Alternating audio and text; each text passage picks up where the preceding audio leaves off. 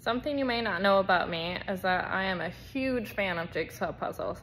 I do one with my dad almost every weekend in the winter.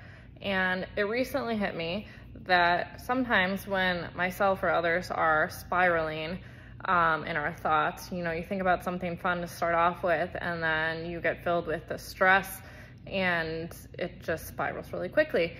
And so it hit me that uh, when this happens, it's often because you're trying to put too many pieces together at the same time in the puzzle of life. When really, if you just focus on one piece at a time and you're staying present in the moment, things are a whole lot easier. So that's the topic of this week's blog. Even if you're not a puzzle fan, it'll still be relatable, you'll still love it. Um, so check out the link in the caption or in my bio. And if you're interested in a free discovery session with me to see what my transformational coaching is like, um, click the button at the bottom of the blog or check out the link in my bio and I'll talk to you guys next week. Bye.